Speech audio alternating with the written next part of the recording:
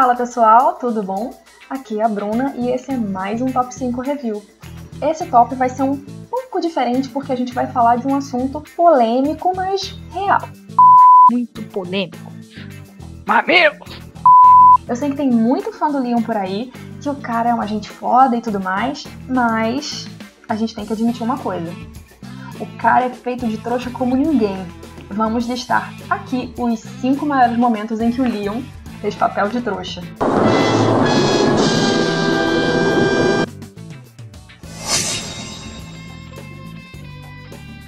Quando a Claire largou ele para trás. O Leon e a Claire chegaram a Raccoon City e deram de cara com uma cidade tomada por zumbis. Os dois resolveram se ajudar para aumentarem as chances de sobrevivência, acabam se separando e decidem se reencontrar na delegacia de polícia porque lá deve ser seguro. Sabe de nada, inocente! Só que não. Aliás, é o trouxa do Leon que sugere isso, né? Ugh. Enfim, na delegacia, o Leon dá um rádio para Claire, para eles se comunicarem, já que estão no mesmo lugar, mas decidem se manter separados. Aí, a Claire encontra uma rota de fuga para os esgotos, né? Indo pela passagem da sala do Brian Irons e resolve ligar para o Leon para avisar da situação. O diálogo é mais ou menos assim: Leon, se liga, achei a Sherry e tô vazando.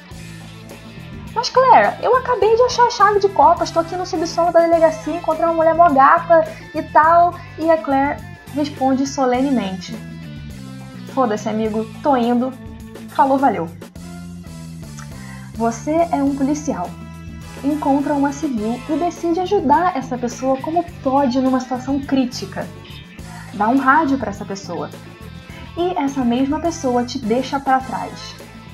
E isso só acontece com você porque você é muito trouxa, Leon.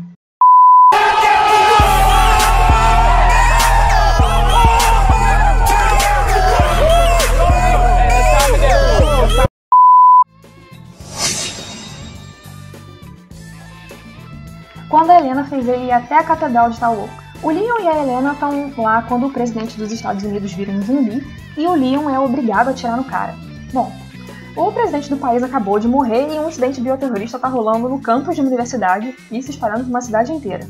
A Helena sabe o que aconteceu e quem está por trás de tudo aquilo. Mas em vez de dizer pro Leon ali, na hora, ela só pede: Cara, vamos ali na catedral do outro lado da cidade que aí sim eu te conto.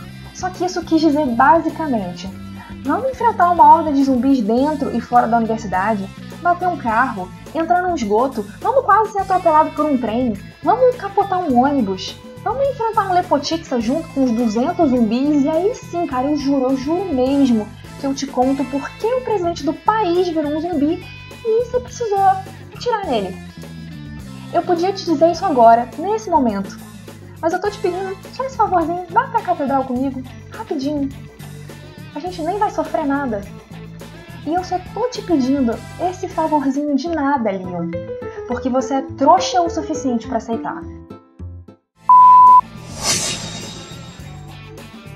Quando ele acreditou na história da Ada, a Ada encontra o Leon no estacionamento do RPD e logo sente aquele cheiro de carne podre, de zumbis. Não, aquele cheiro característico de trouxa que o Leon provavelmente emana. E aí, ela vai lá e conta uma história da carochinha, de que tá atrás de um namorado chamado John, que ele podia estar na cidade, e etc, blá blá blá. Na verdade, ela tá procurando Ben Bertolucci, que é um jornalista que descobriu o esquema do delegado, né, o Brian Irons, para saber informações sobre a Umbrella e como encontrar a passagem para o laboratório, afinal ela tá ali para roubar uma amostra de vírus, né? E aí, na verdade, o papel do trouxa só tá começando a se desenvolver quando ele acredita nessa lorota depois que os dois se separam nos esgotos, ela deixa ele para trás e vem aquele momento vergonha alheia em que o Leon basicamente paga um esporrinho para Ada, como se ela não soubesse se virar sozinha e não soubesse exatamente o que tá fazendo ali. Só um cara muito trouxa mandar uma dessas. E para completar, lógico, o Leon leva um tiro pela Ada. E basicamente naquela situação ela manda um cara foi mal, tem que ir atrás daquela maluca que acabou de atirar na gente e você fica aí sangrando até a morte por uns 5 minutinhos de boa, que eu já volto. Só que aí ela nem volta. Eles se esbarram de novo nos esgotos e em troca o Leon recebe um curativo tosco, por fora da roupa mesmo. E nem assim, nem assim ele aprendeu a deixar de ser trouxa.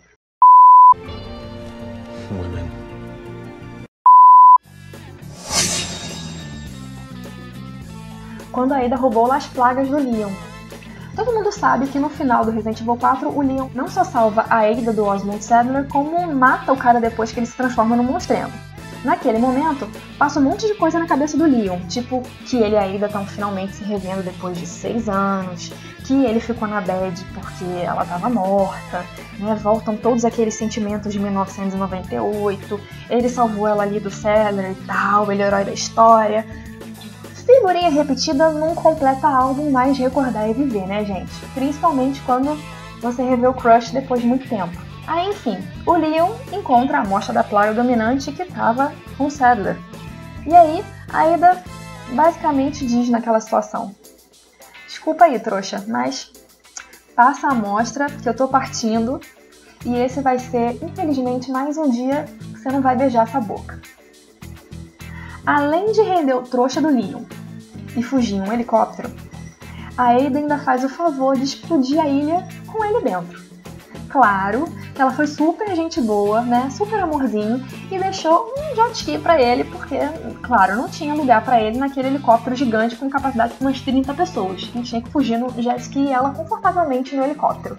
Olha, eu não sou médica, mas acho que esse é um caso clássico de papelzão de trouxa.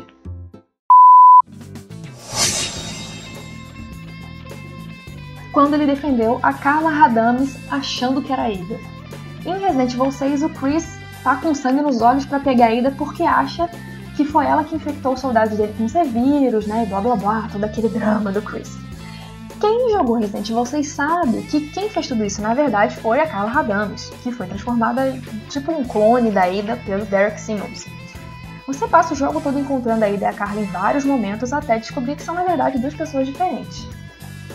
Em uma cena épica lá, o Chris e o Pierce conseguem cercar a Carla Radames que agora é uma bioterrorista louca que tá querendo uh, espalhar aquela desgraça do C-Vírus pelo mundo inteiro porque, sei lá, porque ela é maluca e porque o Simmons curtia mesmo a Neida e não curtia ela. Enfim, a Carla precisa ser impedida e por mais que o Chris esteja puto, com sangue no zoio, ele tá certo em render aquela doida e, sei lá, prender ela com quinta camisa de força e colocar dentro de uma sala e jogar a chave fora. Só que aí, quem aparece? Parece o senhor capitão trouxa das galáxias, Leon S. Kennedy, para dizer: não, não, não, não, não, não vai prender, não vai matar, não vai render, não vai fazer nada. Não vai fazer nada com essa doida varrida porque eu sou apaixonado por ela. Tá, mentira.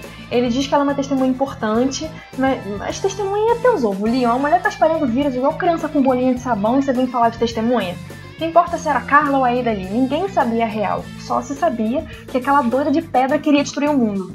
E o Leon, mesmo depois de ter sido feito de trouxa várias vezes pela Ada de verdade, foi feito de trouxa também pela Ada de mentira.